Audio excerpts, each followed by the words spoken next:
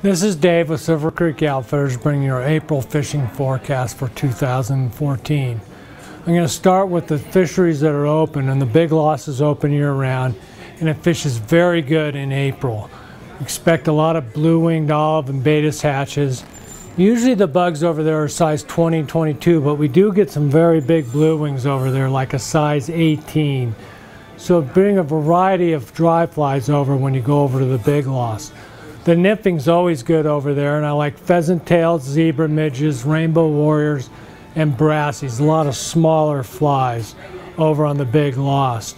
They will raise the water up at some point once the reservoir gets full over there, but right now it's fishing very good and the water's very low.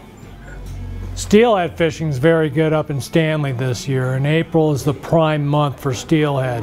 I don't know how big the run's going to be this year, but there are some fish around, and there's already some up in the upper river above Stanley.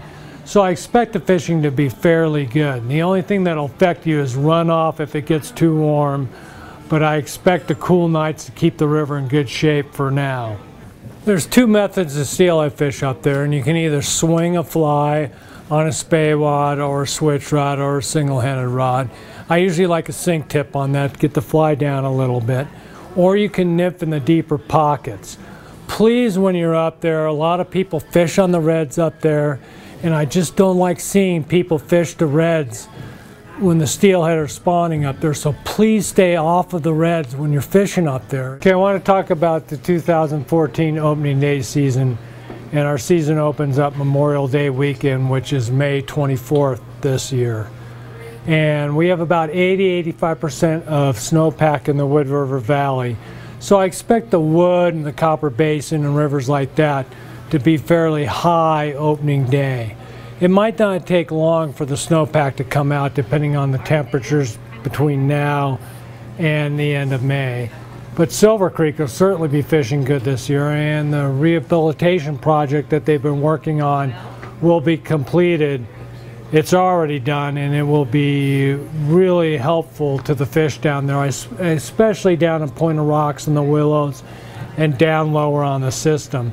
They finished the dam off, they finished the work above the Kilpatrick Bridge and below, and it really looks good, and I think it's really going to help the fishing out down there this summer. It's really made it deeper. The water should be a lot cooler in the middle of the summer. So I'm looking forward to that and I think it's really going to help out the fishing. Okay, I want to talk about the Big Wood River and the fires we had this past summer. I expect this season we need a pretty good runoff and I think we're going to get it and it should flush the wood out. But as soon as we get any rain this summer in June, July, and August, I have a feeling it's going to put our warm springs in the Big Wood River out. So you're going to have to look for that. I think short term it's affected us a lot. I think in the long term it'll help us out actually. So I think there's going to be some changes out there. The fish on the wood have been come, come through this winter fairly good shape, which surprises me. I thought we were going to lose a lot more fish, but it seems like there's a lot of fish on the wood still. So I'm very encouraged by that. Just be careful with the fish out there on the Big Wood and on Warm Springs and on Trail Creek.